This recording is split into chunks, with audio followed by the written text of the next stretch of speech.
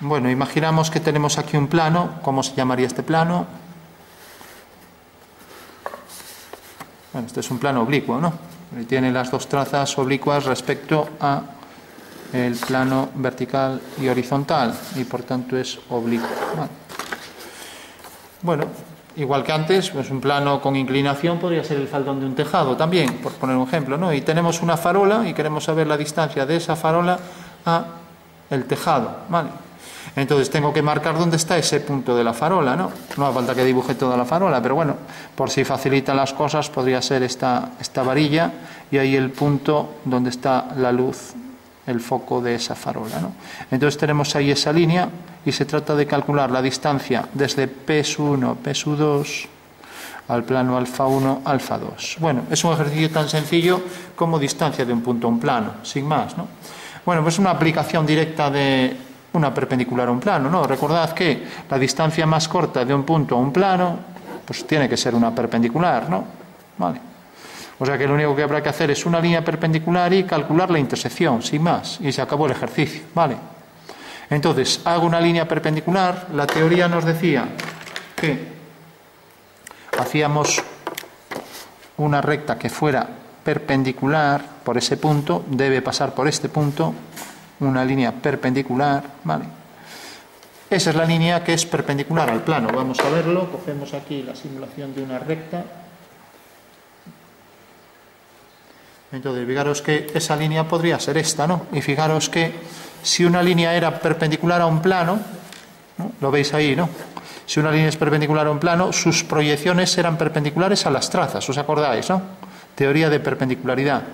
Bueno, pues una vez que tengo esto, lo que tengo es que hacer el plano que pasa por esa recta. Entonces hacemos el plano, por ejemplo, un plano vertical. Fijaros que ahora el plano que he hecho por esa recta es el vertical y veis que contiene a la recta. ¿no? Por último, calculábamos la intersección de los dos planos y esa intersección nos iba a definir la posición e-, exacta del punto de corte de la línea roja con el plano. ¿vale? O sea que ya hemos calculado esto. Lo que pasa que, como, y ahora bajamos este punto, lo que pasa que no está en verdadera medida, ¿no? Vale, lo veis, ¿no? O sea que hemos hecho un plano que pasa por la recta. Y hemos calculado la intersección de los dos planos, que será esta línea rosa, vale, esta línea, y aquí abajo pues será esta línea. Aquí en el alzado vemos la posición del punto de corte y lo bajamos aquí. Por lo tanto, ya sabemos que la distancia es desde P hasta este punto que llamaremos A. A su 2, A su 1. O sea que este es el punto P y este es el punto A. Bueno, sabemos ya cómo hacer la distancia, que es esta, pero todavía no sabemos cómo calcular la verdadera longitud de ese segmento. ¿no? Entonces, para eso teníamos el artificio de los giros. ¿vale? El abatimiento de este triángulo. Entonces voy a considerar este triángulo que tengo aquí.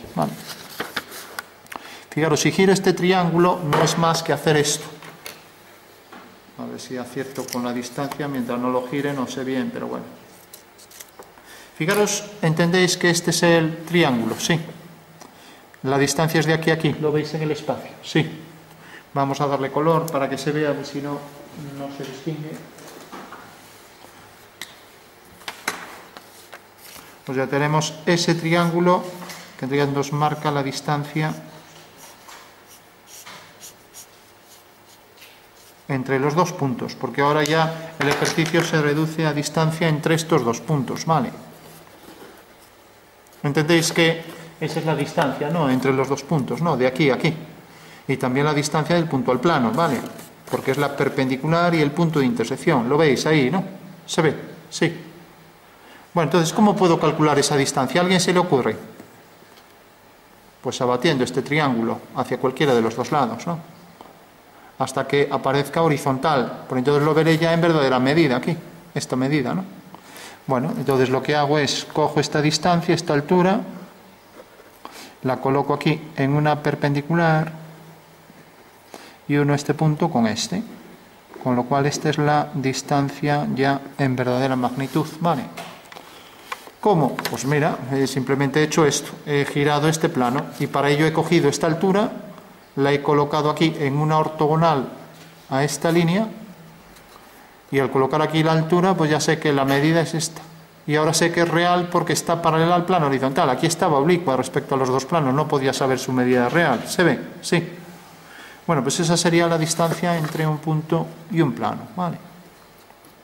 Entonces recordad, hacemos la perpendicular, sabemos que las dos proyecciones son perpendiculares a las trazas, pasamos un plano, la intersección de los dos planos es la recta rosa y por último la intersección de la recta con la rosa es este punto, por tanto se reduce ya a la distancia entre esos dos puntos. Por último abatimos el triángulo que contiene esa recta, tenemos aquí la altura real desde este punto hasta este, habiendo hecho una horizontal, hago el giro y ya tengo aquí la medida real de esa distancia.